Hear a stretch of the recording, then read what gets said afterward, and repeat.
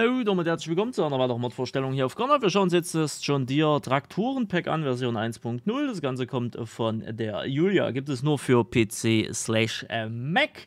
Ja, und äh, das Ganze zu finden unter Mods und DLCs und dann hier John Deere Pack. Das John Deere Pack ist natürlich nicht einfach nur ein John Deere Pack, sondern wir haben hier auch wieder, wie damals bei den Fendt Pack, das IFCOs äh, Display-System mit äh, dabei in allen Traktoren mit integriert. Das heißt, prinzipiell, wenn ihr alle Funktionen nutzen wollt, ne, dann braucht ihr, oder was ihr braucht ihr, wäre sinnvoll Dinge wie ProSeed, Ballenzähler, GPS von Wobster und so weiter und so fort äh, mit reinzubringen. Also, das ist so eine Möglichkeit. Ihr braucht das nicht, ihr müsst das nicht verwenden. Na, aber äh, wenn ihr alle Funktionen da nutzen wollt, solltet ihr es verwenden. Was ihr allerdings braucht, ist Simple IC. Denn mit Simple IC äh, sind nämlich alle Traktoren hier ebenso ausgestattet und könnt ihr damit steuern, beziehungsweise müsst sogar damit einiges steuern, wie zum Beispiel die Lenkradsäule. Nun, äh, da das äh, Ganze hier vom äh, John Deere 5M über 6M, über 6R, 7R und 8R geht, und das ziemlich viele Traktoren sind, mit unterschiedlichsten Config-Blöcken und so weiter und so fort, dass das Ganze den Rahmen sprengen wird, machen wir das Ganze hier in der Kurzfassung. Ich gehe hier mehr auf das IFCOS-System wiederum mit ein. Generell haben wir hier äh, Standardfahrzeuge, die modifiziert sind, also so wie sie ein Standardspiel sind, plus halt dementsprechend mehr Modifikation, was zum Beispiel Beispiel die äh, Konfigurationsblöcke mit angeht. Somit steht bei jedem schon mal Reifenhersteller, Reifenvariante, rundumleuchtende Motorausführung äh, dementsprechend mit äh, zur Debatte, die ihr hier mit einstellen könnt, beziehungsweise wo ihr mehr damit habt. Ihr habt ja noch eine Dachvariante etc. pp. mit dabei, Spiegel, wie ihr zum Beispiel einstellen wollt und so weiter und so fort.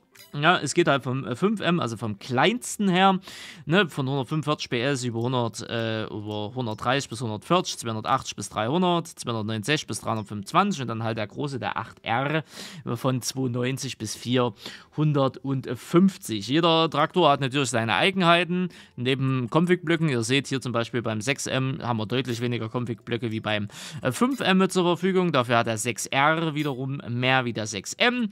Der 7R hat dann nämlich ähnlich ähnlich äh, viel und so weiter und so weiter. Ne? Genauso wie der 8R dann auch wieder ein bisschen weniger hat. Dafür zum Beispiel noch ein Teppich. Also jede, jeder Traktor hat dann dementsprechend so seine Eigenheiten. Ist klar, ist klar.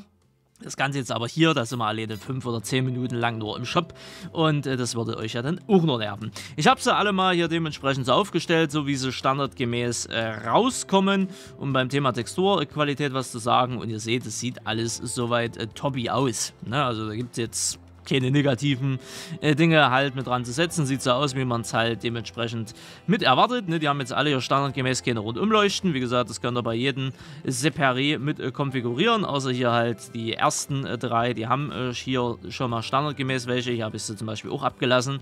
Ne? Und ihr seht, Simple IC Points sind dann dementsprechend auch mit dabei.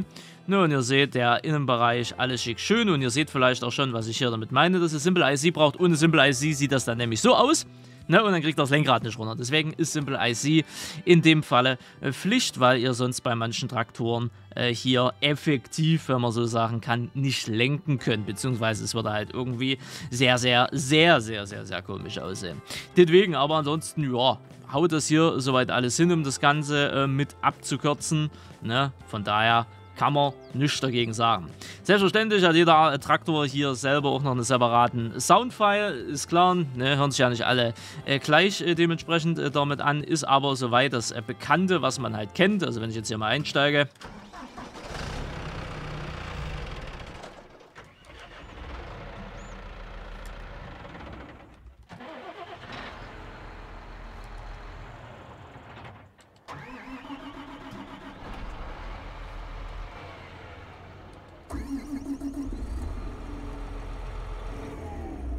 Ne? Also kommt uns alles in dem Falle bekannt vor, können wir in dem Part dementsprechend auch mit überspringen, ist soweit in Ordnung. Also von daher nichts Neues im eigentlichen Sinne. Thema Simple IC. Das ist schon ein bisschen interessanter, denn auch jeder Traktor hat seine eigene bzw. seine individuelle Simple IC-Steuerung. Ne? Wenn wir uns das Ganze zum Beispiel mal beim Kleinen anschauen, sehen wir, wir können äh, hier theoretisch gesehen ein Dach aufmachen. Das habe ich jetzt aber hier nicht konfiguriert. Der Simple IC-Punkt ist aber trotzdem mit dabei, da nicht wundern. Ansonsten Fahrertür öffnen, schließen. Hier äh, ne, Beifahrersitz, Tür rechts in dem Falle. Haben wir hier noch mit dabei und hier die äh, Heckscheibe. Hat alles schön separat Sound, alles schick, alles schön. Lenkradtechnisch kann ich hier nichts machen. Wenn wir zum nächsten größeren gehen, ne, dann sehen wir schon, kann ich hier einmal ne, die Lenkradsäule nach unten bzw. einmal nach oben klappen. Hier habe ich dann jetzt zum Beispiel ein Dach, was ich hier auf- und zuschieben kann. Ansonsten auch hier wieder Tür öffnen, schließen. Hier kann ich zum Beispiel noch die Seitenfenster öffnen, schließen. Dafür kann ich hier beim Beifahrersitz zum Beispiel nichts machen.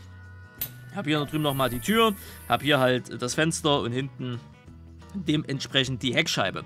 Beim nächsten haben wir das Ganze zum Beispiel hier. Ne, da kann ich den ganzen Spaß auch wieder hier so machen. Geht auch die Armlehne dementsprechend automatisch mit runter. Hier habe ich zum Beispiel nichts äh, beim Dach. Dafür äh, kann ich dann äh, hier einmal ne, über das Dach die Steuerung hier öffnen, weil das Dach halt dementsprechend über mir ist. Ne, und hinten auch äh, dementsprechend, in dem Falle seht ihr hier, keine Points, kann ich in dem Falle ne, öffnen, weil hier nichts ist. Also ist da dementsprechend auch wieder ein bisschen weniger.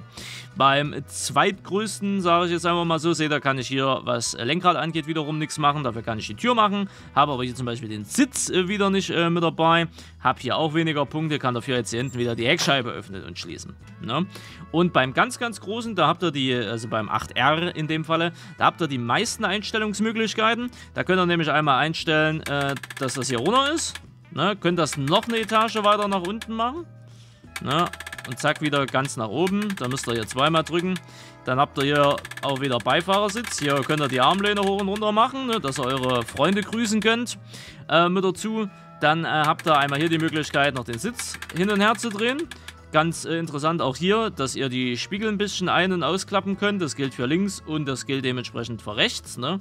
Äh, da habt ihr dann am meisten. Dafür habt ihr hier hinten auch wieder mit dazu. Könnt dafür aber hier wiederum Seitendings nichts öffnen. Ne? Also das Simple IC und hier dachtechnisch gesehen auch nichts. Das Simple IC ist dann je nachdem immer unterschiedlich. So, dann habe ich das Ganze jetzt hier mal vorbereitet.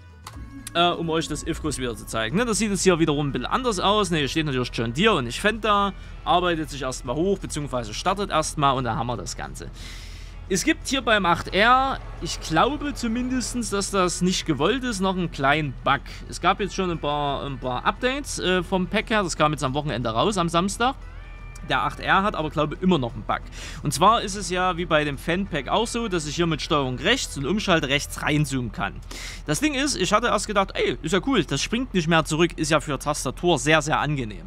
Und dann dachte ich mir, okay, wie komme ich dann wieder zurück? Ja, gut, Steuerung Y, dann kann ich die Kamera wieder zurücksetzen. Drücke ich jetzt aber Steuerung Y, ist die Kamera zwar zurückgesetzt, aber so dermaßen weit reingezoomt, dass ich denke, huh, holla. Drücke ich das Ganze nochmal, seht ihr, passiert in dem Falle nichts. Das heißt, ich muss einmal über, äh, über meine Konsole das Ganze wieder äh, zurückmachen. Man sieht auch hier, da sind ein paar Warnings mit drin und ich habe hier sogar oben einen Error äh, in, in Lua Call Stack einen kurzen, äh, der mir hier sagt, dass er mit diesem FOV-Command, wo ich das versucht habe irgendwie zu machen, dass da irgendwas nicht, nicht hinhaut. Beim nächst kleineren, also bei denen hier, und wenn ich hier nämlich versuche reinzuzoomen, geht es nämlich auch automatisch wieder zurück. Ne? Und hier kann ich auch den hier machen und gehe das geht alles vom, vom Dings her. Also da gibt es noch irgendwie einen kleinen Backle bei den 8R. Ansonsten äh, kann man das jetzt aber natürlich nutzen. Ihr seht, ich habe jetzt hier hinten äh, Mähwerke und vorne die Mähwerke mit dran. Und es ist äh, fast so ähnlich, sage ich mal, wie im Endeffekt äh, bei der Fan-Geschichte. Ne, ihr seht jetzt zum Beispiel, ich kann mit Steuerung A und D wieder hier durch die einzelnen Monitore schalten. Und ich habe jetzt bei diesem John Deere-System ähnliche Informationen, halt nur anders aufgebaut. Ne, ihr seht Front-Hitch, Rear-Hitch in dem Falle, sprich ist alles zusammen. Wenn ich das Ganze jetzt hier einmal äh, in dem Falle hier mit aufklappe, vorne und hinten, ändern sich die Icons dementsprechend wieder. Wenn ich das äh, nach oben bzw. dann nach unten mache, ändern sich die Icons wiederum. Ich habe hier unten den Fill-Level-Anzeiger mit dabei. Ich habe äh, die Allrad-Geschichten hier mit drin. Ich komme hier leider nicht auf die Maus äh, mit drauf, aber ne, ihr seht diese Transmissions mit drin. Äh, Bale-Counter habe ich hier mit drin, deswegen zum Beispiel Ballenzähler-Skript noch äh, als nette Sache. PTU ist hier mit dabei. Ich sehe die Performance, sprich den aktuellen Spritverbrauch. Ich habe äh, GPS hier mit drin, Arbeitsbreite, aktuelle Geschwindigkeit, äh, Working Time, also sprich aktuelle äh, Betriebsstunden und so weiter und so weiter. Parkbremse unten rechts, oben dann noch die Uhrzeit. Wenn ich hier auf die nächste Seite gehe, habe ich das Fill-Level nochmal ein bisschen höher. Trailer 1, Trailer 2 mit Anzeige, Bale Counter, Today und äh, Wobbit Bale Counter mit dabei, genauso wie hier die Vehicle äh, Selection. Ne? Das ist, wenn ich das hier so durchschalte, habe ich dann einmal mit drin. Dann habe ich einmal das Seed-Fill-Level, also sprich äh, für Bro-Seed das Ganze noch. Kommen wir gleich noch dazu, habe ich hier drüben vorbereitet und so weiter und so fort. Dann habe ich hier noch nochmal das Rare-Management ne, mit dabei, wie das alles so aussieht. Und hier generell noch so ein großes GPS, äh, so eine große GPS-Geschichte. Das heißt jetzt also im Umkehrschluss, ich habe das Ganze jetzt einfach mal äh, hier äh, wo haben wir es? Breit. Schalten wir mal hier unten auf Schwartablage mit dazu. Da möchte ich einmal gern das GPS in dem Fall aktivieren.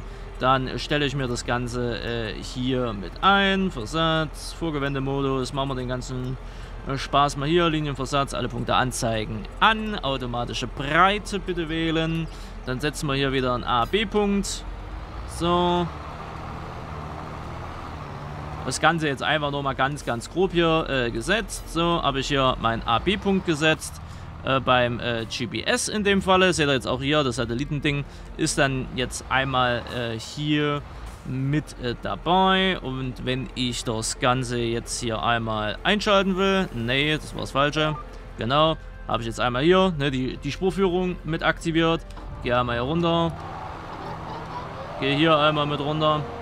Und dann lasse ich das Ding jetzt einfach mal arbeiten. Und dann seht ihr, habe ich hier die Information, Feld 33. Warte mal, ich mache mal hier ein bisschen langsamer. Was das den Tempomat hier ein bisschen angeht, dass wir ein bisschen mehr Zeit haben. Ne, seht ihr jetzt die aktuelle Geschwindigkeit. Man sieht die Ausrichtung auf 360 Grad in dem Falle. Hier mit dazu. Ne, ich sehe hier meine Performance, also meinen aktuellen Spritverbrauch, Working Time, Cruise Speed. Ne, alles im Endeffekt hier genauso mit drin. Na, hier haben wir jetzt natürlich nichts in dem Falle, ist klar. Hier genauso wenig. Ihr seht, die zwei Zapfwellen arbeiten in dem Falle mit drin und so weiter und so fort. Ne, wenn ich jetzt zum Beispiel hier die Spurführung deaktiviere, ne, beep, dann geht das einmal wieder raus. Also auch da seht ihr das Ganze einmal äh, wunderbar mit drin. Einziger Nachteil an der Geschichte, ich muss halt hier momentan noch das Ganze so machen, weil die Kamera noch nicht so ganz will, wie ich das gerne hätte. Hm? Soweit, so klar. Gehen wir da den ganzen, äh, gehen wir der ganzen Sache mal hier drüben Richtung äh, Saatmaschine. Ich habe jetzt hier einmal Browseed mit aktiviert. Also einmal hier wieder GPS einmal mit aktivieren, dass der mir hier nicht rumholt. In dem Falle, weil sonst sagen, äh, GPS ist nicht aktiv, GPS ist nicht aktiv. So, jetzt kann ich euch einmal wieder hier rein. Dann seht ihr nämlich auch, der zoomt jetzt wie gesagt automatisch wieder zurück. Ich klappe den ganzen Spaß jetzt einmal hier wieder aus. Ne, seht ihr auch, passiert ja in dem Falle hier mit drin. Dann kann ich jetzt einmal hier sehen, ich habe jetzt 40% als Fülllevel drin, 1600 Liter Saatgut in dem Falle mit drin. Ihr seht auch hier Trailer 1, also es wird jetzt als Trailer 1 in dem Fall erkannt, 1600 Liter sind 559 Kilo. Dann seht ihr das Ganze jetzt hier, eine Seedbreite, 6 Meter Arbeitsbreite. Wir haben äh, die Spur äh, drin, also sprich die, die Fahrgassen äh, mit drin, Current Lane 1 von 1, ne, Tramline 60 Meter, Modus automatisch. Ne, das ist da jetzt alles mit drin und ich lasse jetzt GPS in dem Falle mal hier mit aus und fahre jetzt hier einfach mal in dem Falle und äh, lasse das Ding hier hinten einfach arbeiten. Und ihr seht, wenn ich jetzt hier nochmal einmal reinzoome, seht ihr, das äh, funktioniert in dem Falle hier auch ohne irgendwelche Probleme. Ne? Und somit kann ich hier einfach arbeiten so wie ich das halt äh, gerne hätte. Ne? Und kann hier währenddessen auch nochmal hin und her schalten, ist klar. Ne? Seht ihr halt auch noch die weiteren Informationen. Ne, GPS ist zum Beispiel mehr oder weniger an, aber nicht richtig konfiguriert. Steht natürlich mit da, Feld 32. Ne, hier steht nochmal äh, Cruise Speed und alles und das Fülllevel nochmal mit dabei. Etc. etc. Also das könnt ihr dann, wie gesagt, genauso nutzen wie halt hier drüben auch und wie mit allen anderen Gegebenheiten halt mit auch. Ist zum Beispiel ganz nett, wenn ihr Ballen macht, dass ihr halt den Ballenzähler mit drin habt, sofern ihr das Skript halt benutzt, ne? Funktioniert halt einfach einfacher, ne? Det Wege, det Wege, det Wege. Jo, ansonsten, wie gesagt, zum Thema Log, bei den 8R ist irgendwas. Hier meckert er mir bei den 7R in irgendwas rum mit Dashboards, Warning, bla. Weiß ich noch nicht so genau. Aber das hier kann ich nicht nachvollziehen, die drei Warnings weil an sich funktioniert Beim 8R sehe ich, dass die Kamera nicht so ganz will. Wenn das so gewollt ist. Kann ja wohl sein, dass das so gewollt ist. Ne, aber irgendwie, äh, es, es, es wirkt noch nicht richtig. Ich sag's mal in dem Falle so. Deswegen. Aber ich denke mal, das wird Julia zeitnah fixen. Deswegen, deswegen. Nun, Download-Link inklusive Bewertung ist wie immer in der Videobeschreibung verlinkt. Ich danke fürs Zuschauen. Wir sehen uns im nächsten Video wieder, wenn ihr mögt. Lasst ein Däumchen Abo da, wenn es euch gefallen hat. Und bis dann, haut rein. Tschüssikowski. Tschüss.